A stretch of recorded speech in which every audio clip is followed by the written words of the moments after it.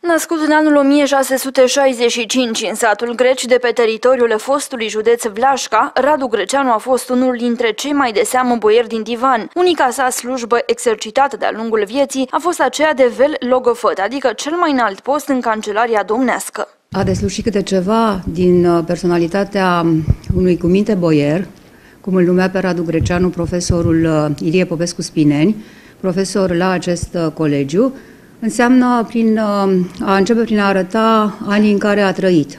El s-a născut în jurul anului 1655 și a trecut la cele veșnice în jur de 1725.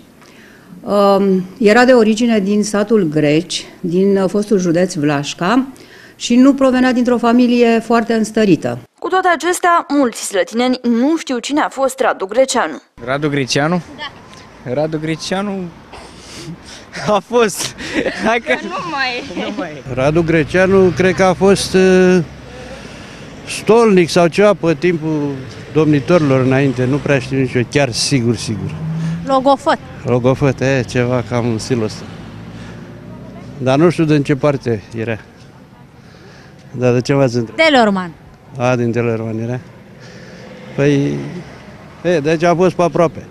Radu Greceanu a murit pe 9 iulie 1725, fiind inițial îngropat la mănăstirea Cernica. În prezent, rămășițele lui Radu Greceanu se află în cimitirul Belu din București. Colegiul Național Radu Greceanu este singura instituție din țară care îi poartă numele.